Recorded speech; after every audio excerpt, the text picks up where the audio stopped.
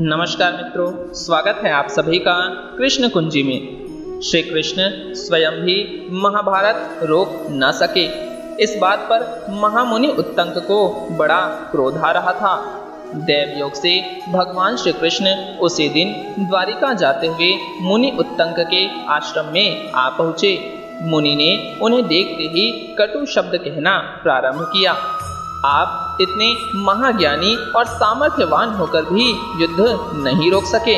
आपको उसके लिए साफ़ दे दूँ तो क्या यह उचित न होगा? भगवान कृष्ण हंसे और बोले, महामुनि, किसी को ज्ञान दिया जाए, समझाया बुझाया और रास्ता दिखाया जाए तो भी वह विपरीत आचरण करे तो इसमें ज्ञान देने वाले का क्या दोष? यदि मैं स्वयं ही सब कुछ कर लेता तो संसार के इतने सारे लोगों की क्या आवश्यकता थी? मुनि का क्रोध शांत न हुआ। लगता था, वे मानेंगे नहीं, शाप दे ही देंगे। तब भगवान कृष्ण ने अपना विराट रूप दिखाकर कहा, महामुनि, मैंने आज तक किसी का अहित नहीं किया। निष्पाप व्यक्ति चट्टान की तरह सुदृढ़ होता है। आप साप देकर देख ले, मेरा कुछ नहीं बिगड़ेगा। हाँ आपको किसी वरदान की आवश्यकता हो तो हमसे अवश्य मांग ले। उत्तंक ने कहा तो फिर आप ऐसा करें कि इस मरुस्थल में भी जल वृष्टि हो और यहाँ भी सर्वत्र हरा भरा हो जाए। कृष्ण ने कहा, तथास्तु, और वे वहाँ से आगे बढ़ गए।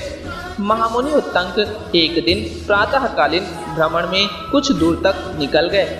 दिन चढ़ते ही धूल भरी आंधी आ गई और मुनि मरुस्थल में भटक गए। जब मरुदगणों का कोप शांत हुआ, तब उत्तंक ने अपने आप को निर्जन मरुस्थल में पड़ा पाया। धूप तप रही थी, प्यास के मारे उत्तंक के प्राण निकलने लगे। तब महामुनि उत्तंक ने देखा, चमड़े के पात्र में जल लिए एक चांडाल सामने खड़ा है और पानी पीने के लिए कह रहा है उत्तंक उत्तेजित हो उठे और बिगड़कर बोले, शुद्र, मेरे सामने से हट जा, नहीं तो अभी सांप देकर भस्म कर दूँगा। चांडाल होकर तू मुझे पानी पिलाने आया है। उन्हें साथ साथ कृष्ण पर भी क्रोध आ गया। मुझे उस दिन मूर्ख बनाकर चले गए। पर आज उत्तंक के क्रोध से बचना कठिन है। जैसे ही साप देने के लिए उन्होंने मुख खोला कि सामने भगवान श्री कृष्ण दिखाई दिए। कृष्ण ने पूछा, नाराज़ न हो महामुनि, आप तो कहा करते हैं कि आत्मा ही आत्मा है। आत्मा ही इंद्र और आत्मा ही साक्षात परमात्मा है। फिर आप ही बताइए, किस चांडाल की आत्मा में क्या इंद्र नहीं थे? यह इंद्र ही थे जो आपको अमृत पिलाने आए थे, पर आपने उसे ठुकरा दिया। बताइए, अब मैं आपकी कैसे सहायता कर सकता हूँ? यह कहकर भगवान श्री कृष्ण भी वहाँ से अदृश्य हो गए और वह चंडाल भी मुनि को बड़ा पश्चाताप हुआ। उन्होंने अनुभव किया कि जाति, कुल और योग्यता के अभिमान में डूबे हुए मेरे जैसे व्यक्ति ने शास्त्र ज्ञान को व्यवहारिक नहीं बनाया तो फिर यदि कौरवों पांडवों ने श्री कृष्ण की बात को नहीं माना तो इसमें उनका क्या दोष?